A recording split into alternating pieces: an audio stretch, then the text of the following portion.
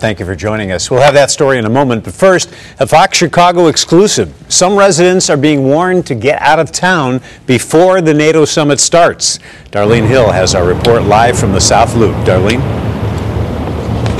Yeah, Bob, that, that warning came by this piece of paper here. It reads the revolving door will be locked on Friday. The rooftop terrace, theater room, and hospitality suites will be closed. Well, it's a yellow memo. Some residents say they saw it on their mailbox and they saw red. I can't just leave my garage whenever I want. Um, they're holding us hostage in here. Sabina Kreidlinger lives in a condo at the Library Tower. It's a 17 floor building in the South Loop on State Street between Harrison and Congress. It's a busy area, lots of businesses and colleges and a high school all within a couple of blocks of each other.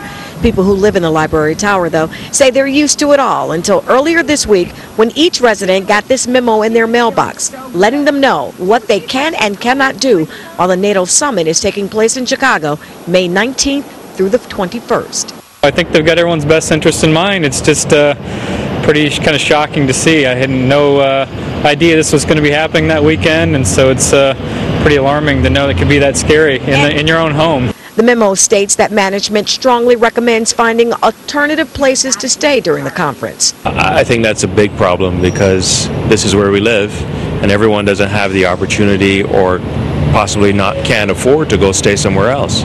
Um, it's a real problem. Management strongly recommends that residents have no guests that weekend. Each time residents enter, their identifications will be checked and no one will be allowed to move into the building or have packages delivered. While some residents are ticked off, others say it's all about safety. They're only suggesting that. I, I want to be able to uh, come and go whenever I need to. Changes because during the summit, Protesters will hold a rally at the Petrillo Bandshell, and their march will have them in front of the library tower. Those protests in other cities have turned very violent.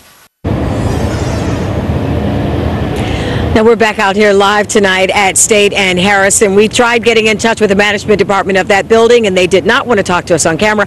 I did though, Bob, call around to a couple of the other mid-rises and high-rises here in the South Loop and they tell me they're pretty much doing the same thing. They say it's all about safety. They don't, of course, want any problems and they don't want, of course, to deal with any of some of the other stuff going around the weekend of the summit. So they say they're trying to do what's best for the building as well as their residents who live in them. Back to you in the studio.